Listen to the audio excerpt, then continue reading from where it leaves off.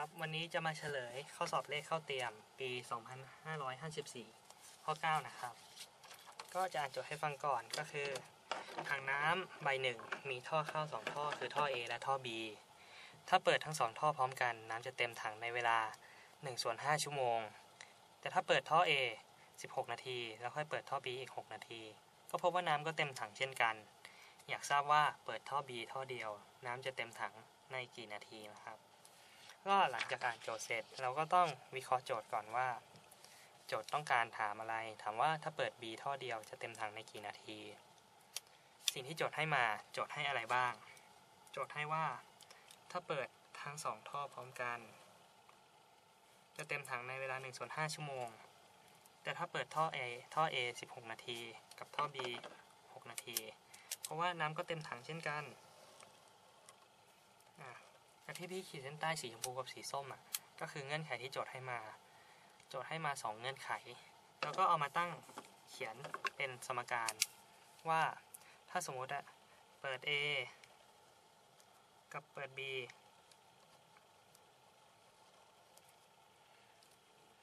ในเวลา1ส่วน5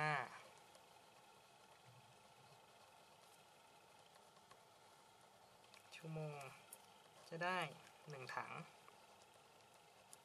นะฮะ อันนี้คือสิ่งที่โจทย์ให้มาในตอนแรก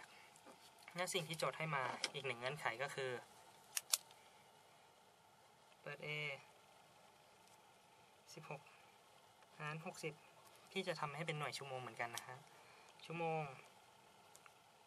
กับ B 6 นาทีก็คือ 6 ส่วน 60 ชั่วโมง ก็ได้ 1 ถังเท่ากันนะแล้วทีนี้น้องจะทำยังไงต่อ น้องพบว่าถ้าสมมุติเปิด A อะ1ส่วน5ชั่วโมงอะจะได้1ถัง เปิด A กับ B พร้อมกันอะ1ส่วน5ชั่วโมงได้1ถัง แต่ถ้าเปิด A 16 นาทีก่อนแล้วค่อยเปิด B อีก 6 นาที ก็เพราะว่าได้1ถังเช่นกัน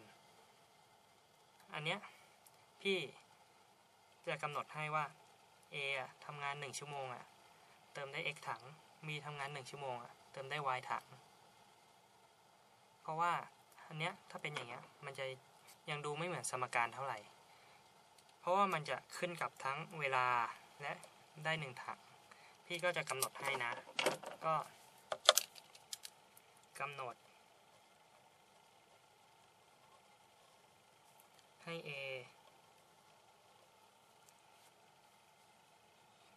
เปิด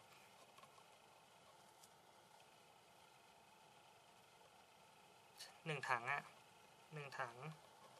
ใช้เวลา x ชั่วโมง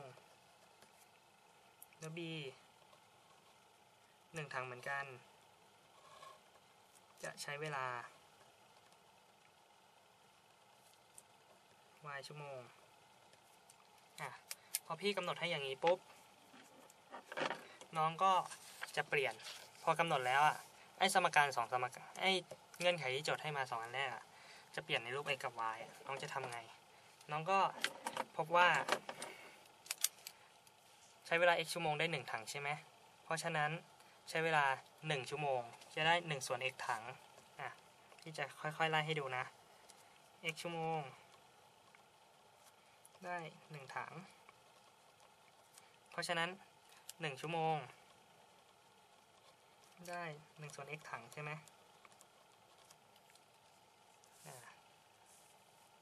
เดี๋ยวให้เห็นอย่างนี้แล้วกัน เพราะฉะนั้นเวลาที่เขาให้มาก็คือ1ส่วน5ชั่วโมง1ส่วน5ชั่วโมง A อะจะเติมได้1ส่วน 5x ถังอันนี้เก็บเป็นเงื่อนไขแรก มาพิจารณา B บ้าง B y ชั่วโมง ได้1ถังนะ1ชั่วโมง จะได้1ส่วน y ถัง เพราะฉะนั้น1ส่วน5ชั่วโมง จะได้1ส่วน 5y ถังอะแล้วพอน้องได้อย่างเงี้ย จากอันนี้น้องก็จะพบว่าที่เขอเปลี่ยนสีนะว่า อันนี้เป็นสมการที่สองจาก 1 และ 2 พบว่า 1 ส่วน 5 x ถังบวก 1 ส่วน 5 y ถัง เท่ากับ 1 ถัง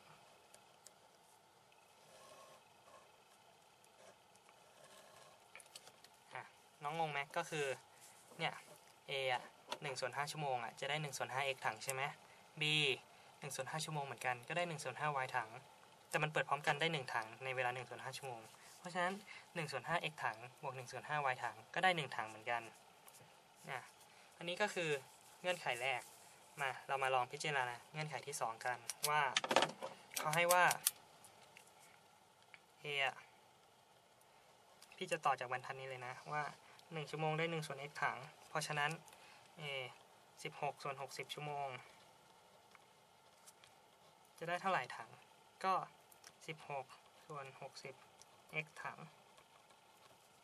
นะพอมา b พี่ก็ต่อจากบรรทัดนี้เลย ก็เขาบอกว่า b 6ส่วน 60 ชั่วโมงใช่ไหม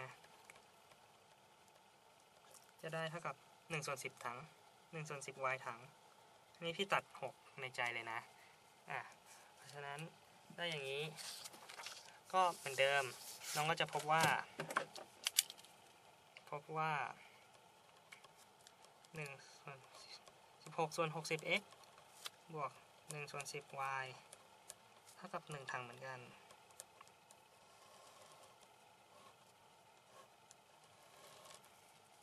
อะทีนี้น้องได้ 2 สมการ 2 ตัวแปร น้องสามารถแก้สมการได้แล้วนะครับเดี๋ยวที่จะลอกสมการใหม่ให้ดู ทั้งสองสมการลอกใหม่จะได้ดูง่าย ๆ ก็คือสมการแรกก็คือ1ส่วน 5x บวก1ส่วน 5y เท่ากับ 1 อันนี้คือสมการที่ 1 นะ สมการก็ a ดีกว่า เพราะสมการที่ 1 พี่เคยใช้ไปแล้ว อันนี้เป็นตัว a นะ สมการ a ก็ 16 ส่วน 60x บวก 1 ส่วน 10y เท่ากับ 1 นี่ก็เป็นสมการ b นะอะน้องลองแก้สมการ วิธีแก้สมการมันก็มีเยอะแยะมากมาย เดี๋ยว พี่เอา 1 ส่วน 2 คูณสมการ a แล้วกัน คูณสมการ a เพราะพี่จะกำจัดตัว y พี่จะได้ว่า 1 ส่วน 10 x บวก 1 ส่วน 10 y เท่ากับ1ส่วน2นี่เป็นสมการ c พี่เอาสมการ b ลบสมการ c คิดข้างหลังก่อน1ลบ1ส่วน2ก็ได้1ส่วน2นะ1ส่วน 10y ลบ1ส่วน 10y ก็หายไป ก็จะเหลือ 16ส่วน60 x บวกกับให้ลบ1ส่วน 10x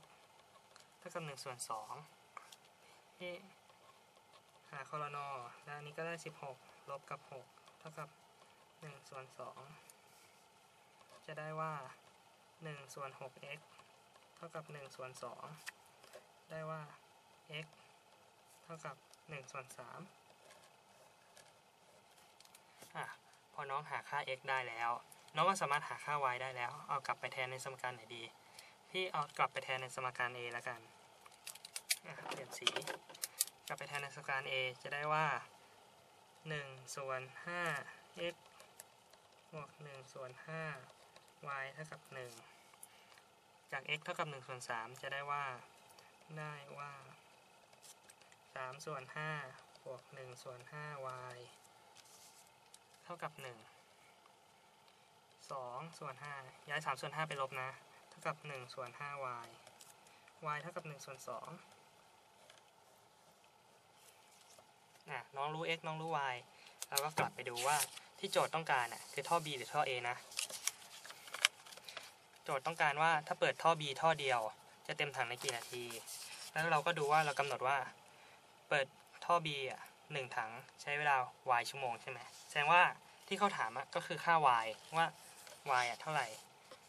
เราได้ว่า y เท่ากับ1ส่วน2ชั่วโมง เพราะฉะนั้นอะ เท่ากับ 30 นาที แล้วก็ไปดูช้อย ซึ่งมันตรงกับช้อยข้อ4แปลว่าข้อนี้ตอบข้อ 4 ครับ เดี๋ยวพี่จะสรุปให้ฟังนะ ก็คือเวลาเจอโจทย์อย่างนี้ มันจะเป็นโจทย์ที่ให้เงื่อนไขมา น้องก็ค่อยๆทำตามเงื่อนไขเข้าไปทีละเงื่อนไข ก็ เราก็เอามาเขียนก่อนว่า เงื่อนไขที่เขาให้มาคืออะไร เงื่อนไขที่เขาให้มาคือ A กับ B เปิดพร้อมกัน ใช้เวลาเท่านี้ถึงจะเต็มในหนึ่งถังและอีกเงื่อนไขหนึ่งคืออันนี้เปิดเท่านี้ชั่วโมง กับ B เปิดเท่านี้ชั่วโมง ก็จะเต็มถังเหมือนกัน มันทีเนี้ยเงื่อนไขที่เขาให้มา มันยังตั้งเป็นสมการยังไม่ได้ พี่ก็เลยต้องกำหนดให้หนึ่งถังเนี่ยใช้เวลาเท่านี้ชั่วโมง B ท่อ B หนึ่งถังเหมือนกัน ใช้เวลาเท่านี้ชั่วโมงอะแล้วพอทีเนี้ยพี่ก็ ทียบบัญญัติตารางธรรมดา แล้วก็ทำตามเงื่อนไขเนี่ยหลังจากกำหนดก็เอาตัวที่กำหนดไปทำในเงื่อนไขเพื่อตั้งสมการ พี่ก็ได้สมการ 2 สมการนี้มา ก็คือมาจาก 2 เงื่อนไขนั้น แล้วพอเราเห็นสมการปุ๊บเราก็เวลาพี่ทำนะ พี่จะเห็นสมการแล้วพี่จะดูตามตัวแปรด้วย อันเนี้ยมี 2 ตัวแปรมี 2 สมการ แสดงว่าเราไม่ต้องหาสมการเพิ่มแล้ว เราสามารถแก้สมการได้เลยนี่เราก็แก้สมการอย่างนี้ พอแก้สมการ เราก็ได้ค่า x กับค่า y มา แล้วที่เขาถามโจทย์ถามอะคือโจทย์ถามค่า y แล้วก็ค่า y ไปตอบ เพราะฉะนั้นอะเดี๋ยวจะตอบช้อยข้อ4นะครับ